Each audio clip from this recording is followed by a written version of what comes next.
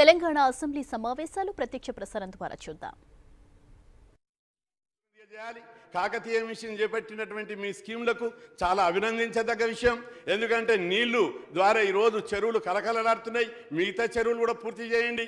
కానీ ప్రాధాన్యత లేనటువంటి అనుత్పాదకమైనటువంటి ఇట్లాంటి పథకాల మీద అంటే ఏదో ఐదు వేల కోట్లు ఆరు వేల కోట్లు అంటే అందరం వెల్కమ్ చేస్తుంటే. ఏకదం నలభై రెండు వేల కోట్లు ఒక అనుత్పాదక పథకం మీద పెడితే దీనివల్ల ద్రవ్యోల్బణం పెరుగుతుంది ప్రభుత్వానికి రుణభారం పెరుగుతుంది ఇతర సంక్షేమ కార్యక్రమాలు అభివృద్ధి కార్యక్రమాలు ఆగిపోయే అవకాశాలు ఉన్నాయి. ఉద్యో ఉద్యోగ రంగంలో ఇంత పెట్టుబడి పెట్టడం వల్ల ఉద్యోగ రంగాల్లో ఉత్- ఉద్యోగాలను భర్తీ చేయనటువంటి పరిస్థితి ఏర్పడుతుంది. విద్య మీద కూడా పెట్టుబడి పెట్టడానికి ఇది ఇది ఒక ఆటంకకారిగా తయారవుతుంది.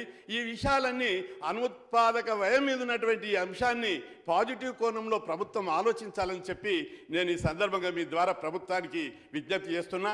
సరే ఇది ఎలాగూ చేపట్టారు కాబట్టి దశల వారీగా చేపట్టండి.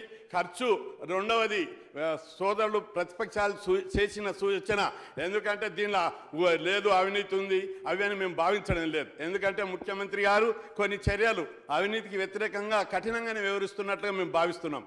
అయితే ఇక్కడ కూడా టెండర్ ప్రక్రియ లోపల కానీ